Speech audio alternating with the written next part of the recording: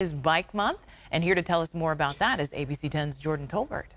All right, good morning, Bria and Walt. I went out to the American River Bike Trail and caught up with Deb Banks from the Sacramento Area Bicycle Advocates at what she calls an energizer station along the trail to learn how you can celebrate. If you haven't heard, May is Bike Month.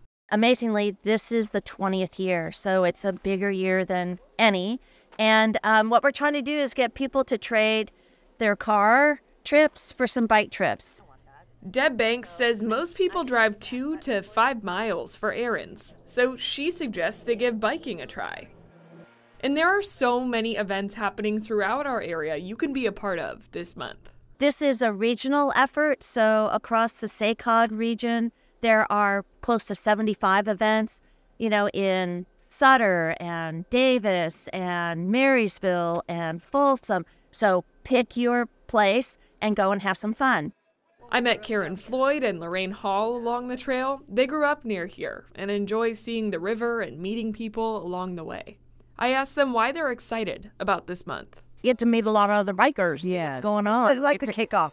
You get together in the season. Because, you know, in the wintertime, we don't get to ride. Banks says when you bike, not only do you do something for yourself, but the world by reducing emissions. Plus, you might just meet a new friend along the way.